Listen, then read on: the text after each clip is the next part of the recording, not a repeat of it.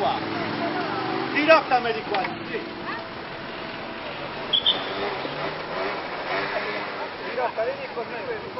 Traffico intenso e viabilità rallentata nell'ultimo weekend nella Riviera del Corallo. Un incidente in via Lido all'altezza di San Giovanni ha coinvolto un'auto e due ciclomotori. Una Mercedes che si dirigeva verso il centro ha svoltato improvvisamente andando a scontrarsi contro le due moto che provenivano da via Garibaldi.